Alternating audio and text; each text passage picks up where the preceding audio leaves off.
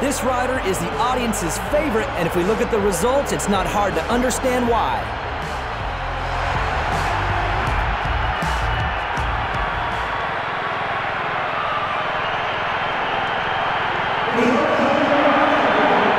We're just minutes away from the start of this race. The riders are lined up on the starting grid, and they're only waiting for the gates to drop.